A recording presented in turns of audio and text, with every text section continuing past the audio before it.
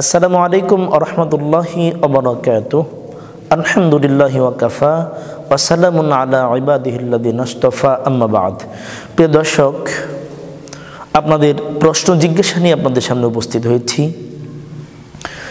আসলে আমার কাছের, খুব কাছের মানুষ, কাছের এক দিনী বন্ধু দিনী ভাই, রাফায়তুল্লাহ নামে এক ভাই প্রশ্ন করেছেন যে বাসরাতে প্রথমে কি করা লাগে? এবং আমাদের সমাজে প্রচলিত আছে যে বাসরাতে প্রথমে স্বামী স্ত্রী উভয় মিলে দুই রাকাত নফল সলাত আদায় করা লাগে। এর গ্রহণযোগ্যতা শরীয়তে কতটুকু বা ইসলামী ব্যাপারে কি বলে? অত্যন্ত গুরুত্বপূর্ণ, বিশেষ করে যারা বিয়ে প্রিপারেশন নিচ্ছেন বা বিয়ে প্রস্তুতি নিচ্ছেন প্রিপেয়ার্ড হচ্ছেন, প্রস্তুত হচ্ছেন, আপনাদের জন্য তো খুবই চমকপ্রদ এক্সিলেন্ট একটা প্রশ্ন। এবং যারা এখনও বিয়ে শাদী করতে মনস্থির করেন নাই সামনে করবেন, ইচ্ছে পোষণ করছেন, তাদের জন্য গুরুত্বপূর্ণ। আর আমরা যারা মুরব্বী হয়ে গিয়েছি, অর্থাৎ বিয়ে শাদী করে ফেলেছি, আসলে আমাদের জন্য ততটা গুরুত্ববহ না। তারপরেও যেহেতু এখানে ইসলামের শরীয় ইসলামের কিছু নির্দেশনা আছে, সেজন্য আসলে জানা আমাদের একান্ত জরুরি। আসলে যারা বিয়ে শাদী করে নাই, নবদম্পতি যারা হবে বা যাদের বিয়ের ডেট দিন তারিখ ফিক্সড হয়ে গেছে। তাদের জন্য তো আসলে খুব গুরুত্বপূর্ণ। গুরুত্বপূর্ণ মানে গুরুত্ব কতটুকু রাখে সেই বুঝে যে নাকি আসলে বিয়ের ভাব মনে উদয় হয়েছে সেই ভালো জানে। তো গুরুত্বপূর্ণ একটা প্রশ্ন যে ব্যাপারে সারিয়া ইসলাম কে বলে? প্রথমত কথা হচ্ছে স্ত্রীকে ঘরে আনার পরে বাসর রাতে প্রথম কাজ হচ্ছে স্ত্রীর কপালে হাত রেখে যা সন্না সন্না কাজ হচ্ছে। আল্লাহ রসুল্লাম দোয়া করেছিলেন, বারাকাল্লাহ লাখা ও বারাকা আলাইকা ও জামা বাইনাকুমা ফি খৈর।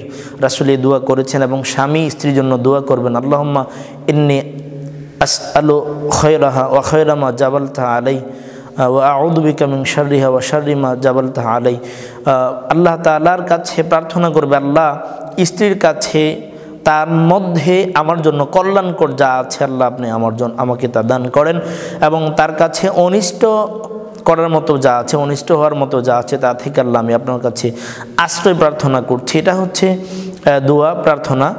প্রিয় দর্শক, তো আসলে সলাদ আদায় করার ব্যাপারে এটা সলাদ আদায় করা কোনো সন্না নয়।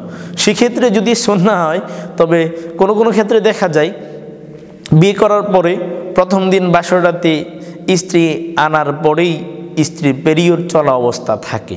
তো এই অবস্থায় কীভাবে সলাদ আদায় করবে? তবে সলাদ আদায় করা যায়, এটা হাজতের জন্য, সেটা আপনার দিলের অবস্থা থেকে কিউরিসিটি থেকে করতে পারেন। সন্না নয় যে মানে এমনটা করাই লাগবে, বিষয়টা এমন নয়, সন্না নয়। তবে করতে পারেন, যেটা উত্তম সলাদ আদায় করা উত্তম। আর বাসরাতে আপনাদের ফিজিক্যাল ইন্টারকোর্স রিলেশনের পূর্বে আপনারা সলাত আদায় করে আল্লাহ তালার সাহায্যের দিকে মোহতাজ হচ্ছেন। আপনাদের অবস্থাটা, আপনাদের দুর্বলতা আল্লাহর কাছে প্রকাশ করে দিচ্ছেন। তো আসলে এটা তো খুব ভালো, কল্যাণকর, মঙ্গলজনক একটা কাজ। তবে এটা সুন্না নয়। সুন্না হচ্ছে প্রার্থনা করা।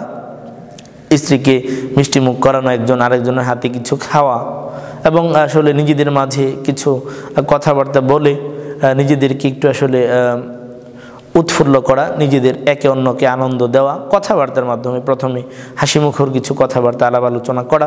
প্রিয় দর্শক, তবে সলাৎ আদায় করার যে কথাটা আছে, এটা সন্না নয়, বাল্লা রাসুল সাহাবাইকারাম করেছেন বলে কোনো প্রমাণ আমরা খুঁজে পাই না। তবে এটা করা যাবে, যেহেতু এটা বেদাত নয়, তো করাটা জায়েজ, সমস্যা নেই। তবে আল্লাহ রাসুল করেছেন বলে সন্না দ্বারা প্রমাণিত নয়। তবে করা যেতে পারে, যেহেতু এখানে কোনো গুনাহের সম্ভাবনা নেই, আশঙ্কা নেই, করা যেতে পারে কল্যাণকর।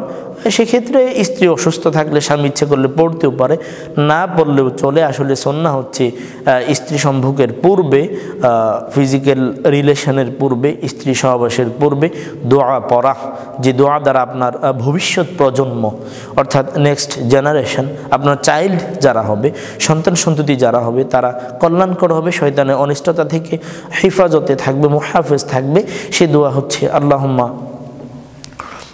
আল্লাহম্মা ইন্নি আউদুবিকা আল্লাহম্মা ইন্নি জান্নাবনা শেদান অজান্নবী শেদান আল্লামা রাজান্না দোয়াটা এমনই। তো প্রিয় দর্শক এই জন্য আসলে দোয়া করা, এটা হচ্ছে আসলে কল্যাণকর। তো এটা আসলে সন্না নয়, সন্না আমল নয়। তবে করা যেতে পারে, সেখানে কোনো সমস্যা নেই। কিন্তু এটা সন্না বলে চালানোর কোনো সুযোগ নেই। আশা করি বুঝতে পেরেছেন। আল্লাহ তালা আমাদের সকলকে কোরআন, সন্না অনুযায়ী জিন্দিগি পরিচালনা করে দাম্পত্য জীবন পরিচালনা করা তফিদিন আমিন। ওমারেন বালাহুল মুবিন।